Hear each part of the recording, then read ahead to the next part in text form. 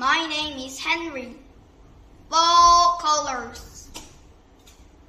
Look at all the leaves, said Carl.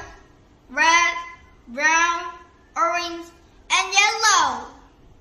I have an idea, said Mom.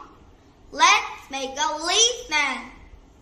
Mom and Carl rake up the leaves.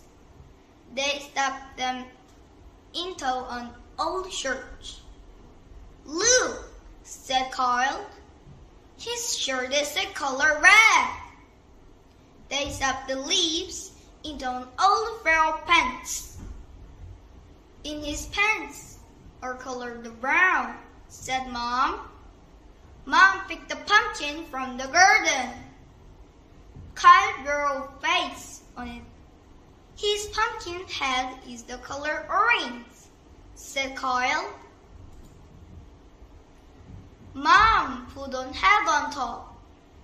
His hat is the color yellow, said Mom. Good, said Kyle.